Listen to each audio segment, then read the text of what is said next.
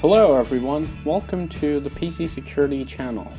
Today as you can see we'll be taking a look at Avira's brand new free antivirus. This is their version 2015 and it does look uh, a little bit better than the previous version. So let's go ahead and take a look at their user interface. The core layout once again remains the same, however they have updated their button design and it looks slightly better, but I still feel that there's quite a lot of scope for improvement here. I mean, this layout is pretty outdated. They could come up with some big buttons over here, or maybe, um, you know, an overview, a better overview of the interface rather than this thing. I do like the fact that the firewall shows us turned on. That's the Windows firewall. And, uh, well, they have an upgrade now button. They have to do that. It's not too annoying, and I actually prefer this compared to stuff like AVG, who have a big banner over here asking you to buy their paid version. So this is a lot better. But at the same time, this user interface is still fairly outdated. As you can see, the scan user interface,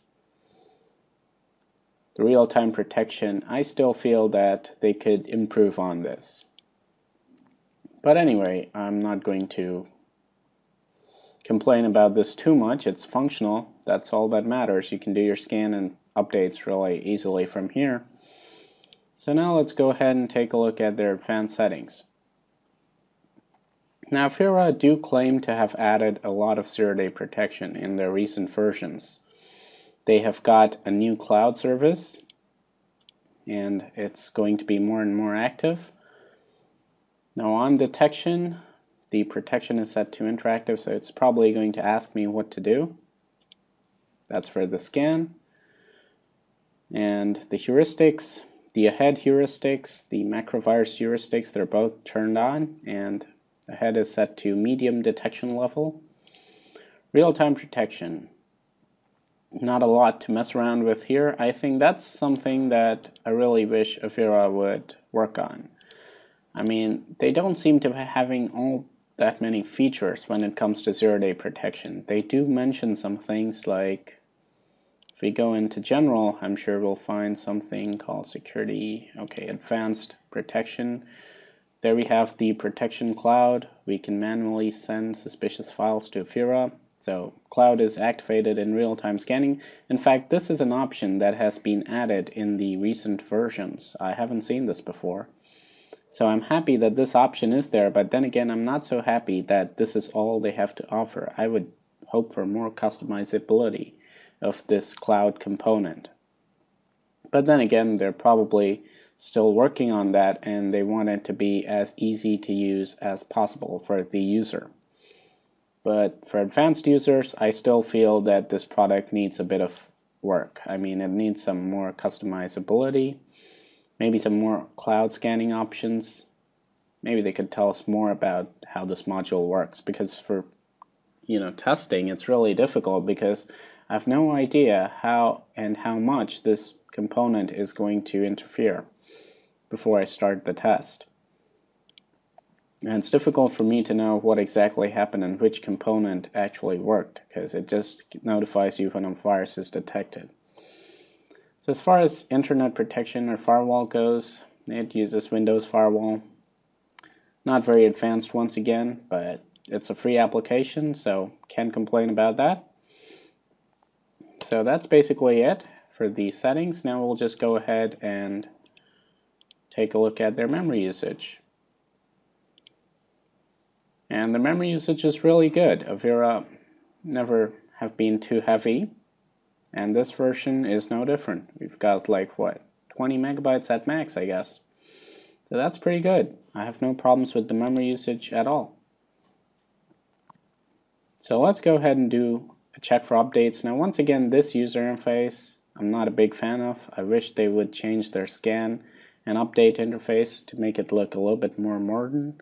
I mean this is really it looks kind of outdated to me. It works, it's functional, but then again, I feel they could make it look a little bit more appealing to the normal users. And just for an extra touch, they could just remove this Avira free antivirus, this part, and make it more integrated within the application and not have these close and minimize buttons over here. But then again, that's just my preference. Uh, some people may like this.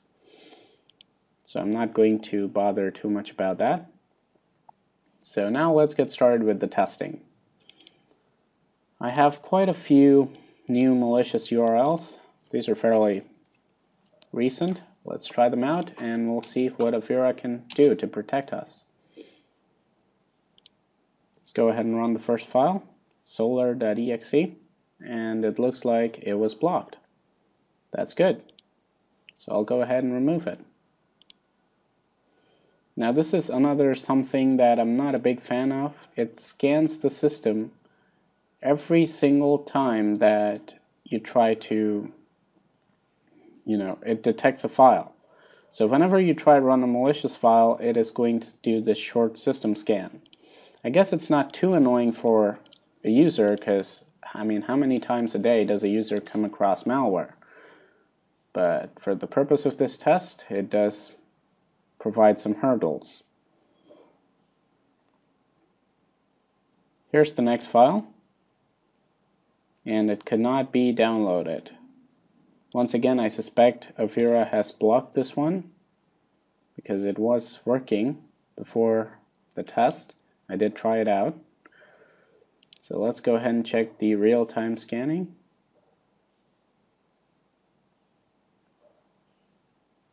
Does look like it was blocked. So let's continue.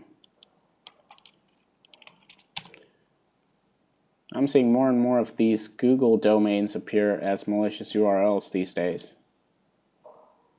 This is a screensaver file. Once again, could not be downloaded, so let's check out the Avira Real-Time Shield. Yes, we can see that file here, so it was blocked. Avira has a really good track record when it comes to blocking files with signatures, so I'm definitely expecting a good result. Once again, security alert. I feel their, their alert system also could be improved. I mean, the way it just pops in and pops out sometimes can be confusing whether or not it responded to your clicking of the remove button.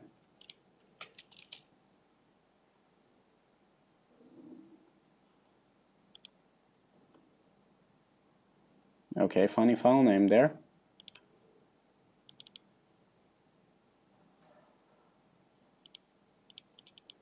But apparently the last file just failed to download because Avira doesn't Okay, it was scanned. There you go. But it doesn't show as malware found. So that's interesting. But then again, it didn't work, so I'll give Avira the benefit of the doubt. And I'll just say it blocked it. Now this is another funny file name, Norton Security.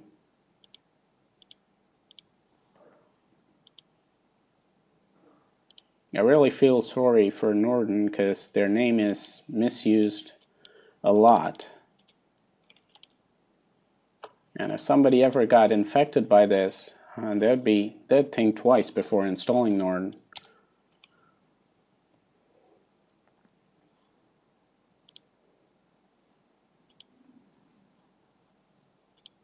Once again, file detected.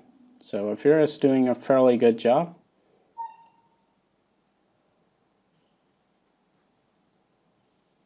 The system scan, however, seems to have been you know, improved a little bit, so it's faster now. That's relief.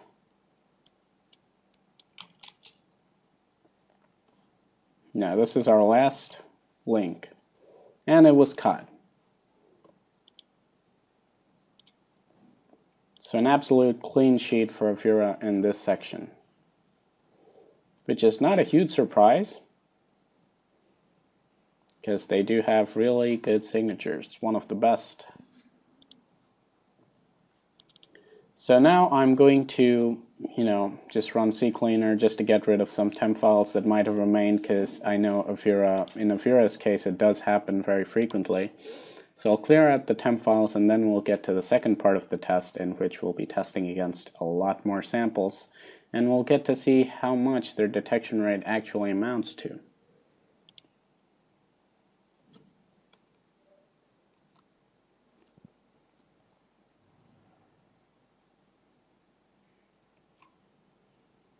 So we have got some uninvited guests on our desktop as you can see. There are 535 files. There might be a few duplicates here and there. It's really difficult to identify and remove them, but we'll see how many Avira uh, can detect. So I've temporarily disabled the real-time protection just so that it doesn't you know, keep detecting them in real time, which is not what I want to see. So I'll just do a right-click scan and let's see what kind of detection ratio Avira can come up with. Luke Filewalker, this is a unique scanner name. I really like that. And their scan seems to be fairly fast, which is a good thing. almost done.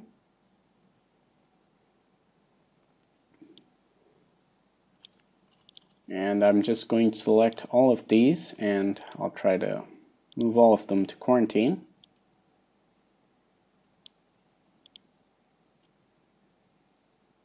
The removal speed is excellent as well. Seems like we're done.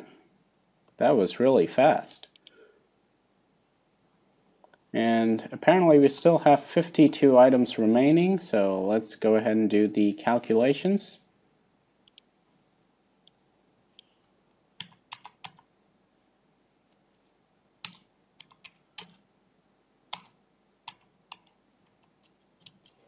So that's a 90.28% and actually the detection rate would be even higher because we've got a similar type of malware taking up a lot of entries.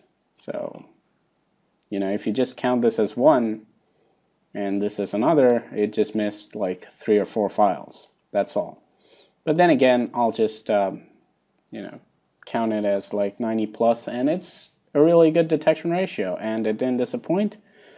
It definitely had the kind of detection ratio that I was expecting. So Avira hasn't lost its edge when it, its edge when it comes to signatures. However, the most important part still awaits how it can protect us against these files that it doesn't have signatures for. So I'm going to go ahead and run these files and we'll see if their cloud service ever comes into the picture because that's something that I haven't seen too often. So here's the first file that we're going to run. And this is a potentially unwanted program. It's a PUP. Go ahead and say next. And it's probably going to just grab a lot of adware from the internet. So meanwhile, I'll just run a couple of other files. But there's some good news. Some adware was blocked. Once again, it was the signatures.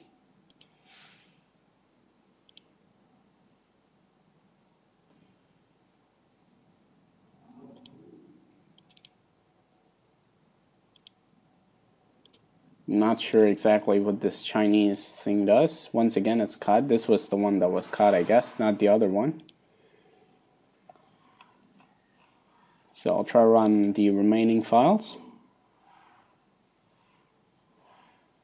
This appears to be something more than just a piece of adware. So let's see if it does anything harmful.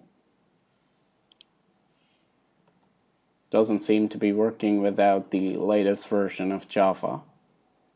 So I'll just, okay, let's see if it gives me some malware. No, this is actually the official Java website, I guess. But anyway, I'll go ahead and install this and then we'll see what that file does. Well, Avira had been doing pretty good so far, but the moment I got Java installed and I ran that application, it looks like things have taken a turn for the worse. As you can see, I've got tons of pop-ups now to download different kinds of PUPs and adware we've got this Pro PC Cleaner, which is definitely very annoying. And I'd like my antivirus to block this, but Avira doesn't have a signature for these, so it just let them go right through. I guess it's not too bad, because I think we can easily remove these potentially unwanted programs. But, well, it's still very annoying and well, we'll just wait and see how much damage was actually done during that period. This computer is quickly getting swarmed with a lot of adware and it's this is kind of like an infinite loop. So you get more adware then the adware downloads even more and then you have even more adware to download even more adware. So it just keeps going. That's like a chain reaction but anyway, I'll just uh, let this stuff run. I'll install whatever has already started. Well, I, if I keep going, I'll always be downloading. I won't be able to finish the test because this adware won't stop coming. But let's see how many Avira can detect. It has apparently detected another one. So I'll just uh, let this machine run for a while. And then I'll reboot the system, run CCleaner, and I'll be back with the final verdict from our second opinion scanners.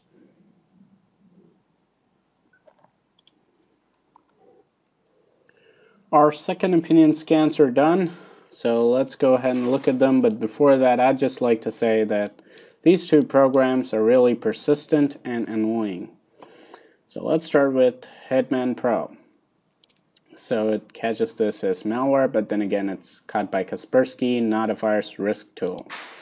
And then we've got all this, um, you know, kind of adware and PUP stuff so the results don't look too good when it comes to Hitman Pro. Well, in a way, they're not too bad because there's no really, you know, active kind of malware. In fact, these PUPs are really active, but there are no major infections, nothing that would really cause serious damage or render this computer unusable. But then again, these things do count in as infections. Malwarebytes found 142 infections. That's a ton of stuff. We've got lots of PUPs and Trojan clickers, a file in the process. So overall, I'm not too satisfied or dissatisfied with Avira's performance. The signatures, oh no. So now it stops working for some reason. I didn't see that coming. Should load up now. Okay, finally got it back. So it didn't do too bad in the sense that it didn't let any major kind of malware in, but then again, these are really annoying. You probably don't want these on your computer. And despite having excellent signatures, it continues to remain you know, slightly below the top tier products when it comes to real-time performance. As you can see, we did get some infections through. And I still don't see a really active behavioral blocking or any kind of intrusion prevention system that would really make me consider this as a top tier product, but it doesn't seem to be that way. So once again, excellent signatures, very similar to the previous test results, but still doesn't manage to shine as much as you'd want it to when it comes to zero-day malware removal or detection or prevention or whatever. So I hope you guys enjoyed this review. My final verdict is if you want to use a Avira, probably pair it with some other kind of zero-day protection. It has got excellent signatures. I would want other companies to maybe use their signatures, but I don't feel like using this product. It doesn't seem to be sufficient protection for me. But anyway, if you're a really basic user and you just want signature-based protection, this might be a really good deal for you. So hope you guys enjoyed this video. I'll see you in the next PC Security channel video.